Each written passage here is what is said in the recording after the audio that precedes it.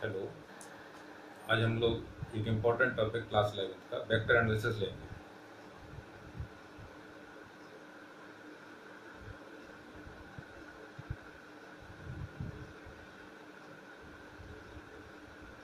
जैसा कि छोटी क्लासेस में पढ़ रखा है कि क्वांटिटी जो होती है, वो दो टाइप की होती है number one scalar quantities number two vector quantities वे क्वांटिटी या वे राशियाँ जिनको पूर्णता व्यक्त करने के लिए परिमाण के साथ दिशा की आवश्यकता नहीं होती, उनको हम स्केलर क्वांटिटीज कहते हैं।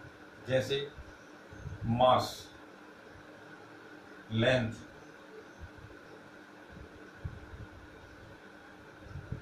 एटसेट्रा जबकि वेक्टर क्वांटिटी वे क्वांटिटी होती, जिनको फुली रिप्रेजेंट करने के लिए परिमाण तो ज़रूरत होती है, साथ में दिशा की आवश्यकता होती है। जैसे इसके लिए कहें यहाँ पर फोर्स अब यहाँ पर इसको रिप्रेजेंट कैसे करें? तो वेक्टर क्वांटिटीज को रिप्रेजेंट करने के लिए ग्राफिकल मेथड जो है, उसमें हम लोग इस तरीके से हम एक हमने कार्टियन प्लेन ले लिया। अब इसमें हम रिप्रेजेंट करना है फोर्स एफ़ फाइव न्यूटन इसमें दो चीज़ें देखनी होगी एक तो इसका परिमाण। परिमाण कितना है? इसमें पाँच है।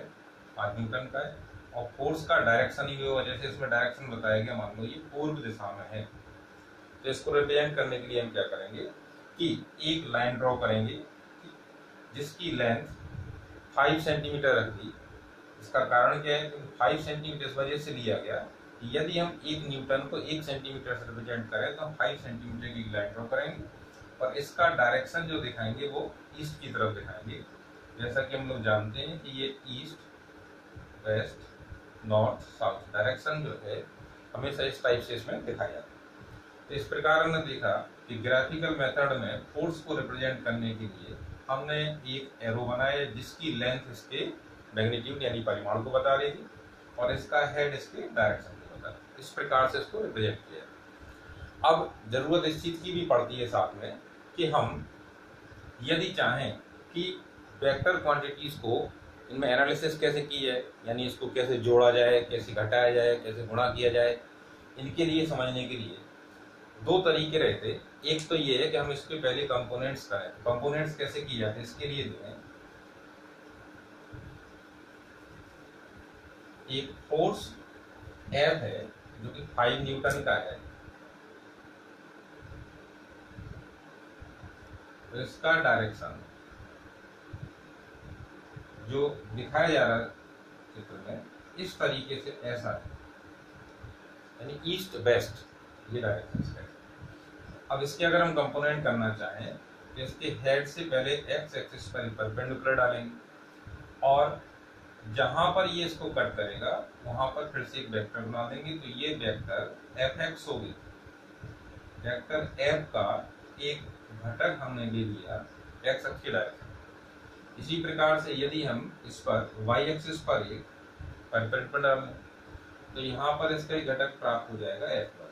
ठीक इसी प्रकार से यदि हम तीसरी एक्सिस को इसको वर्टिकल पोजीशन में यहाँ पर जेड एक्सिस ले रहे हैं तो इसके हेड से उस पर भी यदि हम एक परपेंडिकुलर डालें तो एक कंपोनेंट वहाँ ही प्राप्त होगा वो हो जाएगा एफ़ वाई इस प्रकार से हमने देखा कि वेक्टर एफ़ को तीन हिस्सों में बांट दिया।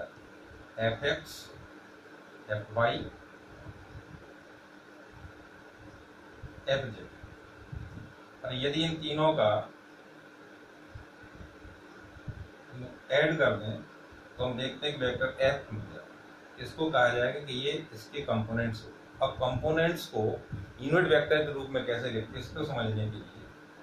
अब एफ़ एक्स का यूनिट वेक्टर जो होता वो आई कैप रहता एफ़ वाई का यूनिट वेक्टर जो होता वो जे कैप होता एफ़ जेड का यूनिट वेक्टर जो होता वो के कैप इस प्रकार से देखेंगे कि इसमें इसका परिमाण जो है, वो एफ़ एक्स है और इनटू यहाँ पर आई कैप आ जाएगा, जो कि इसका यूनिट वेक्टर है एक्स एक्सिस की डायरेक्शन अब यहाँ पर ऐसे ही आएगा एफ़ वाई और जे कैप प्लस यहाँ पे आएगा एफ़ जेड और टी इस प्रकार से हम किसी भी वेक्टर के कंपोनेंट्स कर सकते हैं। अब दो या दो से ज़्यादा वेक्टर्स को आपस में कैसे जोड़ें? इसके लिए मान लिया, एक वेक्टर ए है, जिसके component A X, A Y, A Z. इसको वेक्टर के फॉर्म में लेते हैं। A X I cap plus A Y J cap plus A Z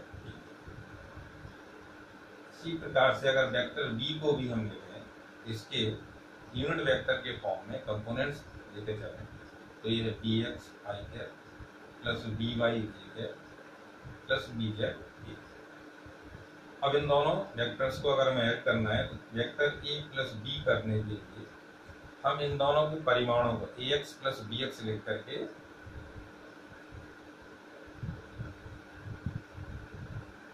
और इंटू आई कैप करेंगे। बाकी ऐसे जे कैप के लिए A Y plus B Y J cap लिखेंगे। प्लस ऐसी A Z plus B Z J cap लिखेंगे। इस प्रकार से हम दो वेक्टर्स को आपस में ऐड कर सकते हैं। अब सब्सट्रैक्ट कैसे करें? तो इसके लिए हम क्या करेंगे? जैसे vector A minus vector B करना है जिसमें सब्सट्रैक्ट करने के लिए ए एक्स माइनस करेंगे बी एक्स ब्रैकेट में बंद करके यहाँ लिखेंगे I cap plus A Y minus B Y G cap plus A Z minus B Z G इस प्रकार से हम दो वेक्टरों को जोड़ सकते हैं, दो वेक्टरों को इसी प्रकार से हम घटा सकते हैं। शेष जो गुणा करने वाला तरीका है वो कर दे।